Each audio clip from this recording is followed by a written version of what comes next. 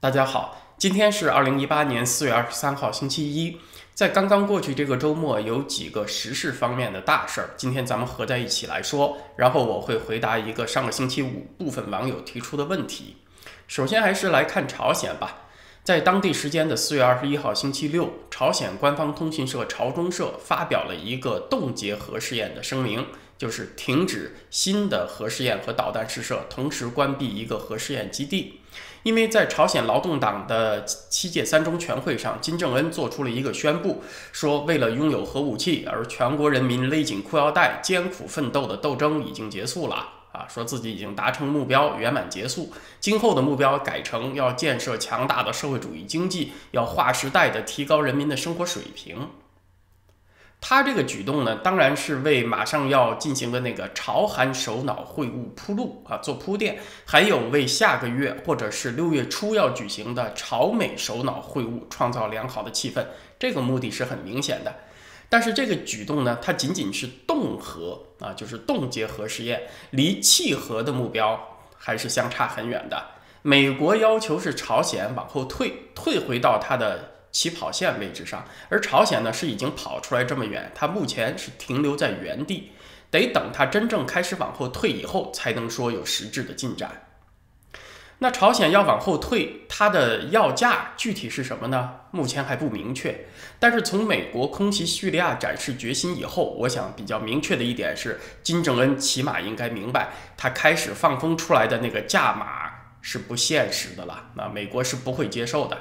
就是早先日本媒体放风，金正恩是要求美军完全撤出朝鲜半岛，并且要给他契合赔偿，就是你得给我钱呢，相当于你是花钱买我手里的核弹，我才把它交出去，才实现无核化。嗯，其实呢，金正恩这里提出的是要求美国做出比之前所有的涉及朝鲜谈判都要大得多的让步。从这里我们可以看出，美朝双方他思考问题那个方式是有巨大差异的。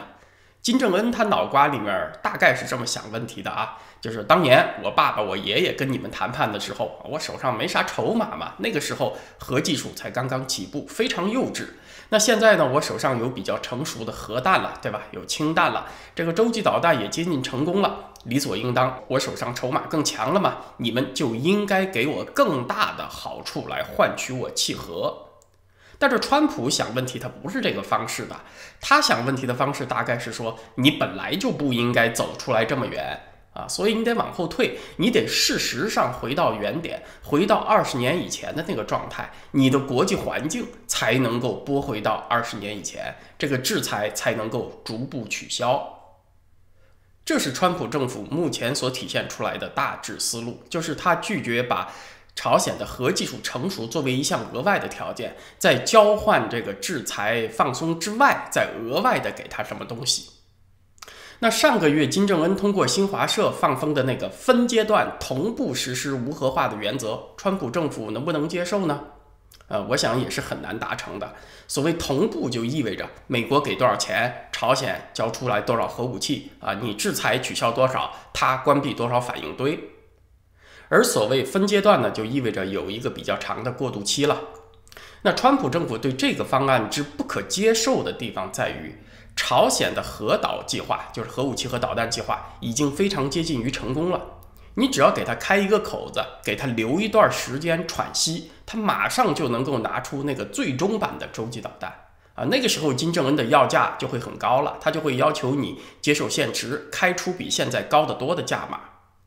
而所谓分阶段的方案呢，很可能就是朝鲜在完成它这个核导计划的最终目标之前的一个缓兵之计。这种伎俩呢，金正恩他爸爸、他爷爷都玩过很多次了啊，确实是不能相信的。其实目前综合各方面情况来看，达成朝鲜无核化的目标，要点就在于三个步骤：第一，就是朝鲜现有的核能力得归零。第二就是得阻止朝鲜未来获得核原料和技术设备，呃，它也不可以有能够转化成为核用途的设施和研发项目。第三，就是要建立起一个长期的检查制度，把这个检查结果和对朝鲜放松制裁相挂钩。啊，那后两方面的内容，其实在伊朗核协议里面已经有所体现了，它不是什么新内容啊。对待朝鲜呢，当然可以比对待伊朗更加细致一些、严格一些，因为朝鲜的信用历史更糟嘛。啊，但是后面两步它并不是整个谈判里面最关键、最困难的部分。最关键的部分其实还是在于第一个目标，就是朝鲜现有的核能力得归零。这其实也是川普对伊朗核协议不满的地方，因为伊朗核协议就是没有把伊朗的核能力归零嘛，只是给它冻结到现有的状态，限制了它的发展。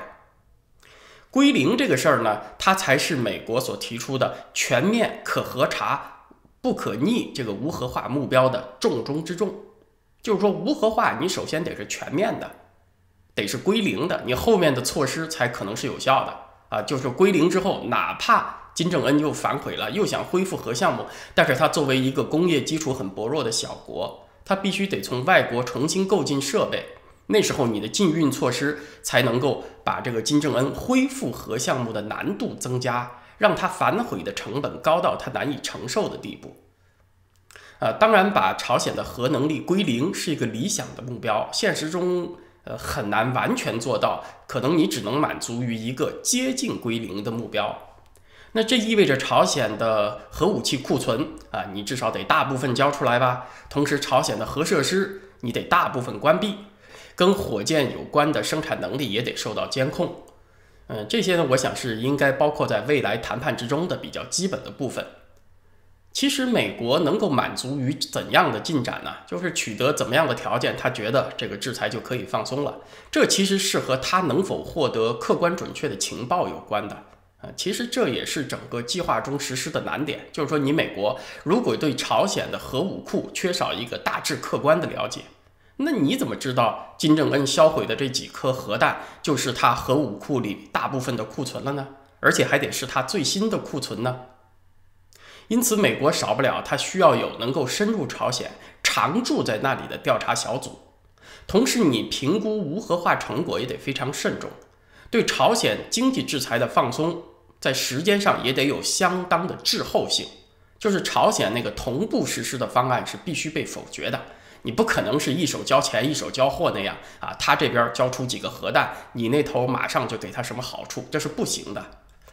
朝鲜得先做出有实质性的举动，然后有一个非常慎重的评估过程，然后才是放松制裁，鼓励这种进展啊，要不然你是非常容易就被金正恩玩弄的。比如他把七八年以前的那些试验品拿出来销毁，就说他履行协议了，销毁核弹了，骗来制裁的放松，拿到钱以后再把他最新型的核武器最后升级完成，啊，那你就很容易中这种招。那说要让金正恩把他攒了那么多年的宝贝儿全都交出来销毁了，他能乐意吗？他肯定是一千个不乐意的。因此，核弹归零的关键在于。要让金正恩明白无误地了解到，谈判破裂，那就只有战争这一条路。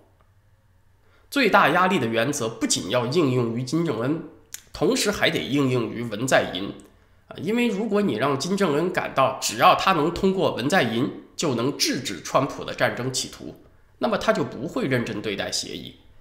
只有让文在寅真实感受到真的这个谈判破裂，那么美国就会抛开韩国单干。那文在寅才有可能坚守目前的立场，这个压力也才能最终真实的传递到金正恩身上。啊，这是目前对朝鲜局势我的分析。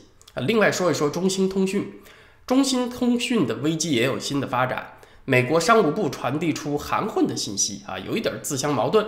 上个星期五，美国商务部的官员说，给中兴下达的那个禁令没有协商的空间，要重新启动协商，那得七年以后。啊，还七年呢，中兴撑三个月都难，所以这个解释差不多就是向中兴下达了死刑判决书。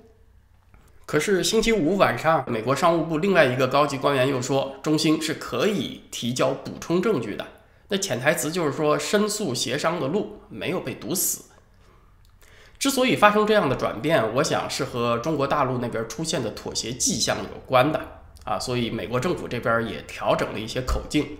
啊，什么妥协迹象呢？就是人民网在四月十八号发表了一篇社评，就是不点名的批评长鱼侯周小平，啊，周小平不是有一个很惊悚的说法吗？说美国封杀中兴是重大利好啊，自主研发的春天到来了啊。人民日报呢，就是呃把这种说法称之为遭遇屈辱式制裁以后所产生的偏激情绪啊，是否定了周小平这个说法。马上环球时报也改了口气了，说不要受到美国传媒的蛊惑，去踩抵制美货的那个陷阱。可中国互联网都封了，你都看不见美国传媒，你怎么受他蛊惑啊？其实指的就是国内的那些有毛左倾向的网站和极端民族主义倾向的网站。前段时间不断的喊啊，要抵制美货啊，啊，这个美国制裁中国，一定要让美国也受到多么严重的损失啊，说这些。那么出现这些妥协的迹象，就是说明上层他已经觉得民间舆论这种发展方向，这些网站网评员们已经起到了添乱加堵的作用啊，得敲打敲打他们，给舆论降降温了。胡锡进这次再次完成了戏剧化的变脸啊，他三月二十二号《环球时报》才登了一篇评论，叫做“抵制美国大豆，中国很容易做到”，啊，不到一个月就改了口，说不要受传媒蛊惑，抵制美货。那是不是胡编也把自己也列入了蛊惑公众的传媒之列了呢？啊，通过这个事儿，我们也可以看得出来，那些大小喉舌媒体们，他毫无独立的见解和判断，他永远都是墙头草，随风倒啊，上面出现个什么风向，他就倒向哪里。那么中兴通讯的事儿有没有转圜的可能呢？就是重新和美国达成协议，让他度过这一劫。川普政府在这个档口上制裁中兴。中兴犯的事情，它和贸易摩擦其实是没有联系的，但是实际上是有联系。当然，它是有以此为牌向北京施压的用意。所以，中共它如果能够在这个压力之下做出重大的让步，那美国政府呢对中兴再网开一面，这个可能性是不能排除的。但是呢，我们从这个川普政府的行事逻辑来看。呃，也是和对待朝鲜的态度类似，就是即使能够再度达成和解，能够再达成个协议，这个门槛儿也会很高。朝鲜曾经一再撕毁核谈判协议，而中兴呢也一再违规违约，所以接下来谈判的方式，呃，可能就会很艰难了，不会再像以前那样了。中共政府真的得做出非常显著的让步才行。最新的消息是，美国财长姆努钦近期将会访问中国。那我想，中兴会是双方会谈的内容之一。以川普的行事风格来推算啊，中兴只是第一个，就是第一张打出去的牌。如果这个不能够迫使中共政府就范的话，他袖子里应该还会藏的有别的牌啊。也许下一个制裁的真的就是华为了，也许是别的央企，或许是以完全对等的方式。来决定美国市场对中国企业的开放程度。川普反复说啊，这个双边贸易的模式呢，对美国是最有利、最公平的，比加入国际性的贸易协议要好。啊，也就是说，你对我开放多少啊，我对你开放多少，这事儿呢，咱俩之间来谈，而不是在一个多边性的贸易框架里面来谈。所以你不要把除我俩之外的那些。原则、义务、责任这些条条框框加在我头上啊，咱们不这么玩儿。你为美国企业收购中国企业设置了多少障碍，那我就给你设置同样的障碍啊。你看它是这么个玩法，这个思路呢，现在应该已经很清晰了。那中兴能不能度过眼前这个生死劫呢？那就要看中共领导人对中兴这颗棋子在中美博弈里面所起的重要性是怎么判断的啊？如果觉得它很重要，同时他愿意花很大的代价来保这颗棋子的话，那中兴是还有一线希望度过眼前的生死关。今天最后啊，是回答上个星期五一部分网友提出的问题。就是我上周五不是说这个科技环境和人文环境要放在一起来评判，这是中国人非常需要的一种认知升级啊，是目前所需要的。嗯，人文环境不自由，那人们在这样的环境中成长啊，整个脑子都被调成那个调调了了吗？呃，那他的创造力在别的领域受到制约，你说在科技领域就能做到创造力奔涌啊？这种期待啊，是不太符合现实的。啊，因为人类的创造力本质上是一个东西，不管它在何种领域体现。于是就有网友给我提出一个特例，说如何评价前苏联和二战前的德国在军事领域方面的创新成就。我在做这个节目的时候呢，其实是想到了这个问题，但是我每集节目原则上不超过二十分钟，所以我就把这个问题放在今天来说。这部分网友提出的问题，实际是说创造力这个东西不靠自由来激发，靠压力去挤行不行？答案是在一些条件下可以，但是挤出来的创造力既是有限的，又是有害的。啊，为什么这么说呢？先说有害吧。以苏联为例，它政府是集中了全社会的资源去突破某几个军事工业领域，它这样达成的成就是以牺牲国家整体的。经济均衡为代价的，所以它只适用于战争时期的应急需要，它却有损于这个国家建立起持续的竞争力，因为它失去了均衡的体系嘛。有些人把这个当成苏联的成就，但这其实恰恰是苏联失败的原因啊，这是其一。为什么有害？第二个原因是这种举国体制勒紧裤腰带去干这干那，它带来一个副作用啊，就是产生了依赖于政府的特殊利益集团。它不仅扭曲经济环境，还扭曲政治环境。那这个后果大家一定要注意，就是这些军工集团被培养起来以后，他为了长期把持资源，他就要把自己体系的干部也送进政府啊，去影响国家道路和未来重要的战略决策。他为了自己优先分配到利益，就要让这种产业不均衡的局面一直持续下去。所以不是说你勒紧裤腰带干完这个事儿，你就可以没有负担的去干另一件事儿了。它不是这样事儿的。你走出这一步以后，你会发现你要倒回去走啊，很难了。你一个家庭甚至一个企业要完成未来道路方向的切换是不难的，但是你要放大到国家和社会，就不是这个逻辑了。所以挤出来的创造力它是有害，就是这个意思。能不能挤？能挤出来一些，但是你要想清楚这个后果是不是你愿意承受的。硬挤出来的创造力是给你续了命呢，还是给你减了寿呢？啊，这个大家就需要去看一看历史上的经验了。另一个问题就是，创造力这个东西能挤也是有限的啊，这是人类的本性所决定的。挤出来的创造力，它不是那种有源头的活水，可以长久的流淌的。啊，像有个故事，魏文帝曹丕妒忌他弟弟曹植，就说：“人家不都是夸你文思敏捷，你很能吗？那你走七步，给我写首诗出来。你要写不出来，我就剁了你。”这个故事其实最早不是出自于史书啊，它是出自于南朝刘义庆的《世说新语》，它是带点儿那么个戏说的成分，这就叫拿刀架在脖子上，硬挤创造力啊！啊，曹植呢还真的就七步成诗啊，就写了一首叫做《煮豆燃豆萁，豆在釜中泣，本是同根生，相煎何太急》啊，这首诗很多朋友都知道，很有名。《世说新语》里面记载的这首七步诗和流行的版本呢，其实还有点不一样。刚才我是说的流行的版本，反正咱们就从这个流行版本出发，说明白这个意思就行了。啊，就是说在生命危险的压力之下，在强大的危机压力之下，曹植的创造力真的就被挤出来了。啊，但是你要说以后每天一到饭点儿，曹丕就把曹植拎过来说：“你来，你给我七步成诗，要不然我就剁了你。”你多搞几天看一看，那曹植就写不出来了啊！应激反应这种事儿啊，也就能干一回，最多两三回吧。你不能把它作为一个日常惯例来看待，这是常情常理。呃，刚才是说苏联，那纳粹德国和苏联其实都逼走了很多本民族的优秀科学家。